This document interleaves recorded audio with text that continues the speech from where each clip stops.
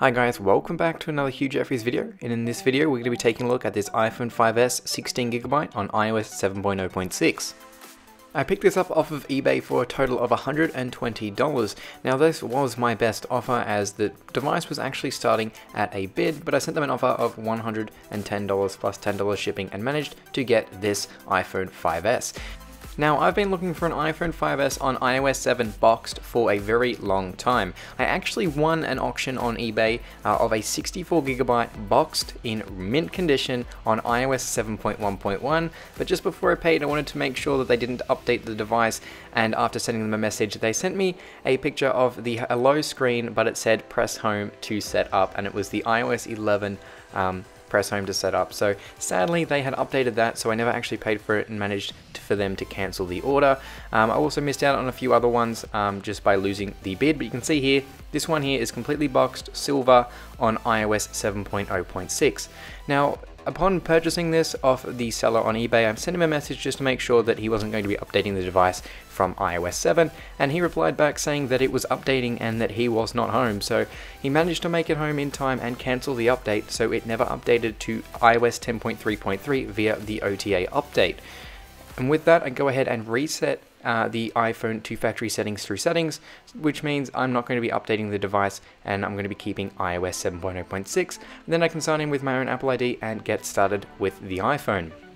You can see here, setting it up, it is now in a clean install of iOS 7.0.6. Go ahead and go into General and About. You can see that it's a 16GB iPhone 5S. Now, the iPhone 5S was released in 2013 in 16, 32, and 64 gigabytes of storage, has an Apple A7 processor running at 1.3 gigahertz, 1 gigabyte of RAM, and came with iOS 7. The iPhone 5S was available in three colors, which were silver, gold, and space gray.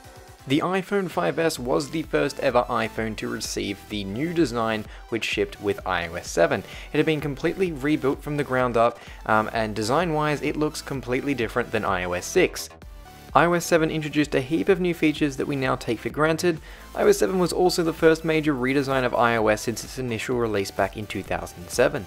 You can see here I have an iPhone 5 on iOS 6 and an iPhone 5s on iOS 7. You can just see how different the interfaces look. From the app icons to the app switcher, it all looks completely different. iOS 7 introduced the control center which allows you basically to easily change the brightness and volume of music, as well as introducing new features such as AirDrop which we now take for granted being able to transfer files between iPhones, iPads, and Macs. One of my favorite things about pre-iOS 7.1 is the old slide to shut down. I'm not quite sure why Apple replaced this with the current one that we see today, but I do much prefer the older animation when you slide to power off. The iPhone 5S was the first iPhone to feature the Touch ID fingerprint reader in the home button.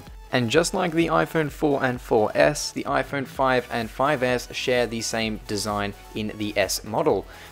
And in almost 5 years, Apple is still using this same design on the iPhone SE. Now taking a look closer at this iPhone 5s that I've purchased off of eBay, taking it out of the box and taking a closer look at it, you can see just how mint this iPhone 5s is. I'm led to believe that this iPhone was never used or only used for a very short period of time. There's absolutely no scratches, no marks or no dust in any of the ports or the buttons on the side.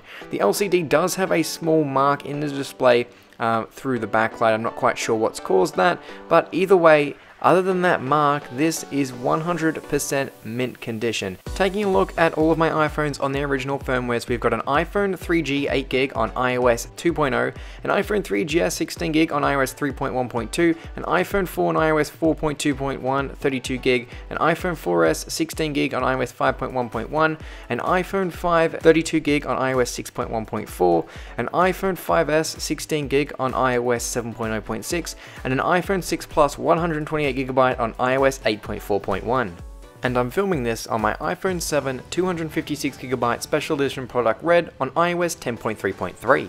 So out of all that, I need to go ahead and downgrade my iPhone 1st gen to iOS 1. I need to purchase an iPhone 5C on iOS 7 and a 6S on iOS 9, and I will have a complete collection from 1st gen to iPhone 7 on their original firmwares. And on that note, this has been a Hugh Jeffreys video. If you like what you saw, hit that subscribe button, consider checking out the iPhone playlist for more videos like this one. Also, make sure you're following my social media, link will be in the description. That's all for this video, and I'll catch you guys next time.